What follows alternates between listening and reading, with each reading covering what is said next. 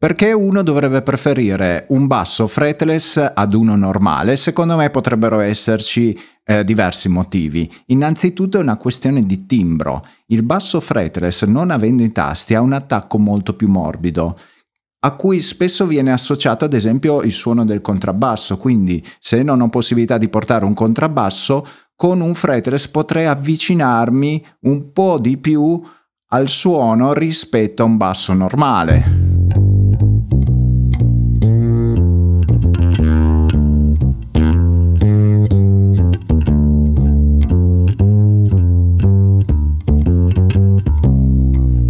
Ad esempio. Altrimenti il basso fretless, il suono del basso fretless spesso viene anche associato al suono della voce umana, quindi in, uh, nella parte più acuta dello strumento.